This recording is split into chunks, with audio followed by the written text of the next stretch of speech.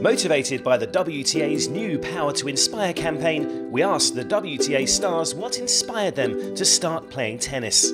When I was just before five, actually, I watched Monica Seles on TV, and I really love her style and her competitiveness, and um, that's what made me start. You know, I saw the number for a tennis school commercial, and um, that's how I started. At 14 years old, I, I said that I uh, want to be a professional tennis player, and just I want to work for every day, for every match and every tournament tournament. So I did a great job, I think, and now I'm, uh, I'm enjoying uh, my best uh, moment of my career. Uh, obviously I had some dreams, you know, and I dreamed of competing against top players and all this, but you know, I never um, thought it would get me that far until I really started to get into WTA and the competition and that that's when I really started to dream big and I was very fortunate that I won Grand Slam and I became number one, which was my biggest dreams.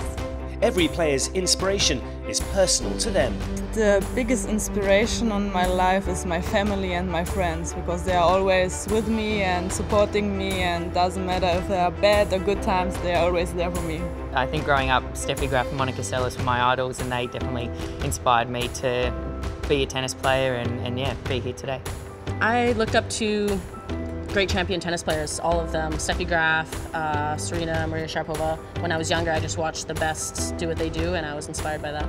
I think Serena, being such a close friend of mine, I think I've got to know her even better over the years, and uh, I think she's a really great inspiration. She has been on tour for so long, she gives back so much to the sport, and she's a great ambassador, and to see her having so much fire in her still and still wanting to be the best and still wanting to improve even though she has been number one for, for a very long time and won so many Grand Slams. You know, I think that's very inspiring and something that even when I don't feel like going out to practice, I'm like, well, Serena can and she's still passionate about it. You know, just get your butt out there and work hard and get better.